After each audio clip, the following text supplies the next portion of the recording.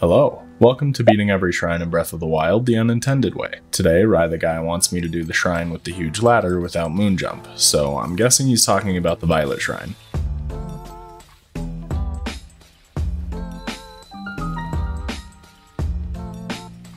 Rye also mentioned that he thinks it would only be possible with wind bombs, but I don't think it is. There's no platform at the bottom of the ladder to wind bomb from, so you would have to climb up the ladder a little bit, drop onto one of these lights, and then keep wind bombing up the shaft and hope that you get lucky and land on another light. But I ain't got time for that, so I just climbed the ladder. Sorry, Rye. I did, however, do a gliding vertical wind bomb to launch over the tall walls and into the exit area, so I hope you're still proud of me.